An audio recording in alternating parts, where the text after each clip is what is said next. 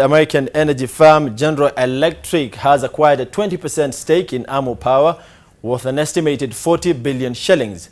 AMU is the company that will own and operate Kenya's 1,050 megawatt Lamu coal-fired electricity generation plant. This purchase is part of a new clean coal technology agreement between the two firms and under the agreement, GE Power will design, manufacture and deliver its ultra-supercritical clean coal technology components that will include a boiler and steam turbine generator and air quality control systems for the Lamu coal power plant.